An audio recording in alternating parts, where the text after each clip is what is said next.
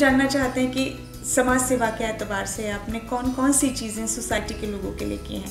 गरीब बच्चे जो कि एजुकेशन लेना चाहते हैं लेकिन अपने पास उनके पास पैसे नहीं हैं उनको हम फिनेंशियल एड भी प्रोवाइड करते हैं। रश्मि क्षेत्रपाल पाल राजनीति में आकर समाज सेवा को आगे बढ़ाएँ तो बहुत बहुत बेहतरीन कामों को अंजाम दे सकती हैं। ये फैसला मैं अपने संगठन पर अपनी पार्टी पर छोड़ती हूँ।